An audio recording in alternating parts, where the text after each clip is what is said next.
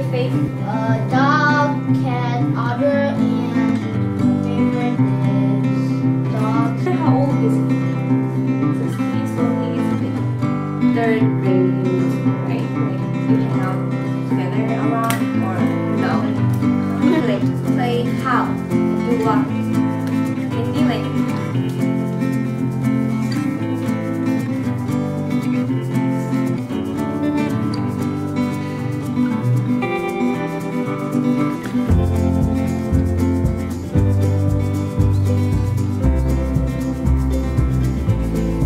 With that topic, you will debate.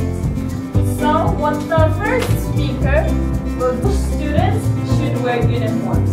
Okay, topic is going to be the um, middle school students should wear school uniforms.